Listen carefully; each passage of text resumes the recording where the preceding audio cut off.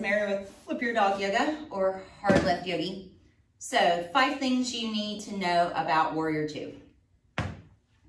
Warrior Two, the distance between your feet would be wrist distance. So if I stepped out, wrist distance, that's how wide my feet are.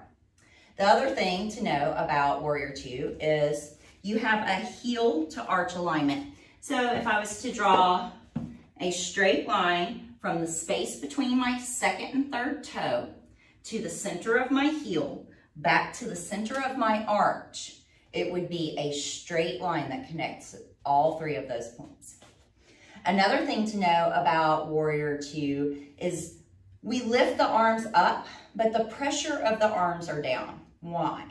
Because we want the neck to relax and the shoulders and the back to carry the weight of the arms. So when you lift the arms up, then press down as though you're pressing down on like an air current.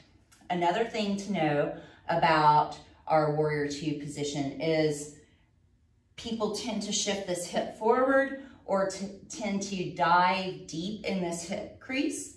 This leg is nice and strong. The hip is aligned with the ankle, so it's not going forward. And this thigh is actually lifting now to the pose as this thigh drops down. Another thing to know about your warrior two, we're on number four, right? Another thing to know about your warrior two is that the shoulders come directly over the hips. A lot of times I pe see people surfing, right? And so look for that. The last thing to know about warrior two, and I was guilty of this for so long, no stripper butt, right? So take that hiney and bring everything in. So the tailbone isn't scooping down and forward. The tailbone is pointing straight down towards the mat, all right? So those are five things to know about your Warrior Two posture.